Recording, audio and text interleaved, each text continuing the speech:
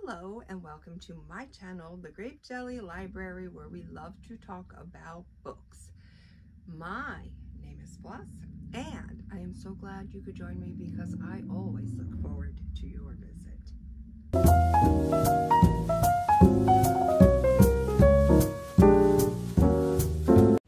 Did you know that April is my birthday month? It is, it is. And although I am on the Read What You Own challenge, I do make exceptions to the rule.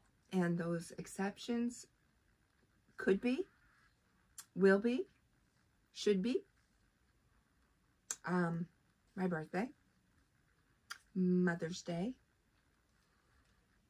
my local book fair day, pretty much I am good with this challenge. I love reading what I own. I would not have bought these books if I did not want to read them. So I don't have any problem at all reading what I own. But um, yeah, I'm definitely making some exceptions to this rule because I am not going to miss out on life. I set my goal a little bit too hefty for myself. 50 books. I am on book 22, so I still have a little way to go. Um, you know, books that you have not finished, they count too. And I have quite a stack of those. I should do a video on that, huh? Books that I'm like partially through. If I read those, I, you know, I could get through this challenge. Lickety split, I bet you. But anyways, my birthday month. So I am going birthday shopping with my birthday money at Barnes & Nobles and BAM Books. So when I do that, I will let you know the books that I bought. Ba-ba-ba-ba-ba. My goodness. I didn't even plan that. But anyways, let's see the books I bought from Book of the Month for my birthday. I had to do it because do you know why? They give you a free book. So I wasn't going to miss out on a free book. Now, the first book, or one of the books, I should say, that I chose is The Unmaking of a June Farrow, a novel, and it is by Adrienne Young, and it looks like this. And let's quickly find out what it's about. A woman risks everything to end her family's centuries-old curse, solve her mother's disappearance, and find love in the mesmerizing novel from the best-selling author of Spells for Forgetting. Okay. I'll let you know when I get to that and what I think of that. The next book that I chose was All We Were Promised by Ashton Lattimore. And it looks like this. This is beautiful. Well, the other one was beautiful too. I think they do some good things with book covers, don't you? The artwork is like out of this world. The paths of three young black women in pre-Civil War Philadelphia unexpectedly and dangerously collide in this debut novel inspired by the explosive history of a divided city. So, you know what? I don't think enough books are centered in Philadelphia. I really don't. So that's why I chose this. Um, Philadelphia is beautiful. Philadelphia, 1837, when Charlotte escaped from the crumbling White Oaks plantation down south, she'd expected freedom to feel different from her former life as an enslaved housemaid. After all, Philadelphia is supposed to be the birthplace of American liberty. Instead, she's locked away playing servant to her white passing father as they both attempt to hide their identities from slave catchers who would destroy their new lives. Okay, that's book number two. Book number three, we chose because we're stepping out of our comfort zone and we just love the vibe of this book. It's Annie Bot. Annie. Those of you who subscribe to Book of the Month, have any of you chosen this one? It is by Sierra Greer. All right, Annie was created to be the perfect girlfriend for her human owner, Doug. Yikes. Designed to satisfy his emotional and physical needs. She has dinner ready for him every night. Boo! um, wears the cute outfits he orders for her, double boo, and adjusts her libido to suit his moods. True, she's not the greatest at keeping Doug's place spotless, but she's trying to please him. She's trying hard. She's learning too.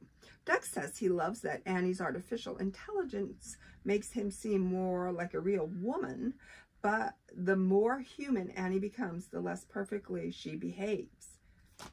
You know what? It's written by a woman from a woman's perspective. So um, we're going to keep an open mind with this one. But so far, not totally on board. I'm going to need some convincing. All right. Now, this one, this author, we are very familiar with as I have read every novel that he has written. Table for two, Towles. And I have read my favorite, Gentleman in Moscow, among other novels by him. But Gentleman in Moscow will forever be my favorite so far. I think like he really outdid himself in that one. You know, that spotlight on Amor, Amor, um, brilliant, brilliant, brilliant. So much so I bought several copies of that book and passed it around.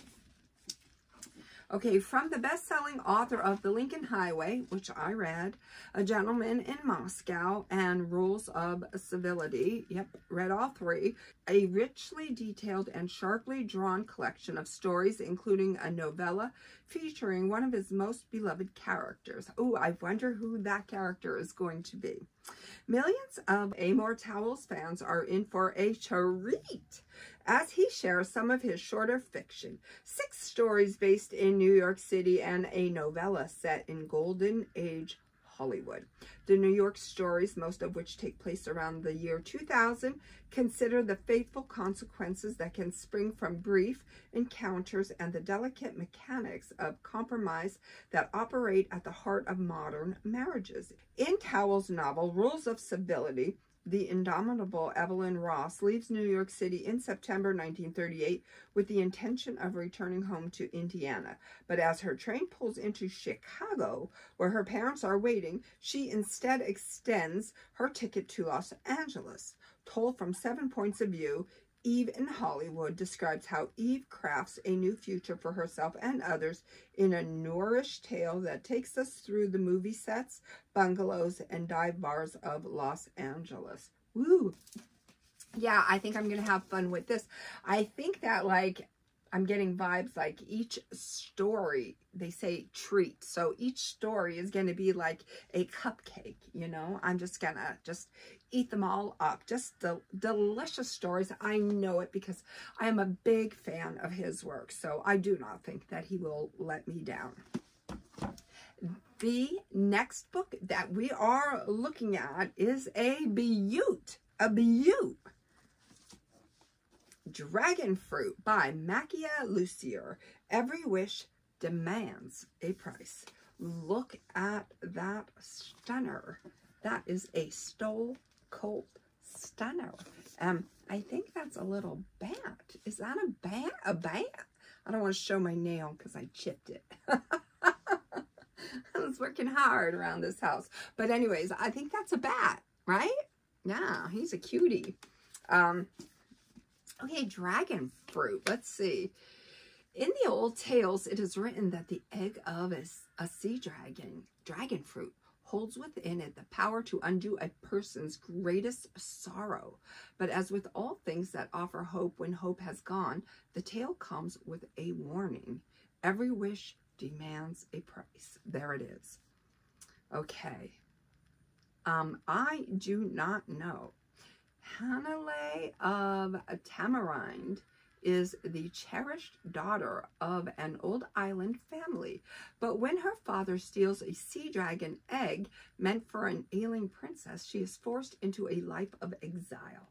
In the years that follow, Hanalei finds solace in studying the majestic sea dragons that roam the Nominami Sea until one day an encounter with a female dragon offers her what she desires most, a chance to return home and to right a terrible wrong.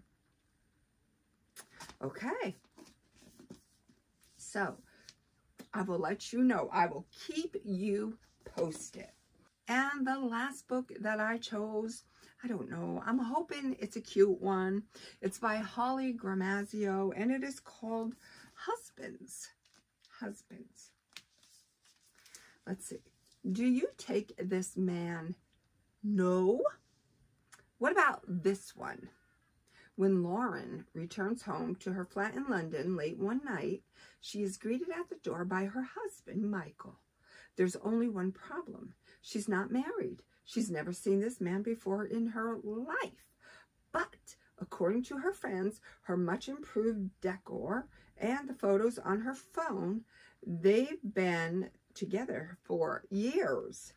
As Lauren tries to puzzle out how she could be married to someone she can't remember meeting, Michael goes to the attic to change a light bulb and abruptly disappears. In his place, a new man emerges and a new slightly altered life reforms around her. Realizing that her attic is creating an infinite supply of husbands, hell yes, Lauren confronts the question, if swapping lives is as easy as changing a light bulb, how do you know you've taken the right path? When do you stop trying to do better and start actually living? A thrillingly original debut, The Husbands brilliantly explores how we navigate life, love, and choice in a world of never-ending options. All right, so I think this is going to be a fun one. So there you have it, six book of the month books that I think will keep me busy for quite some time. Thank you for sharing my birthday books from book of the month and join me next time as I share with you my birthday books book haul. Until we meet again, know that I love you. Be well, be good, and be reading, and may all your dreams come true.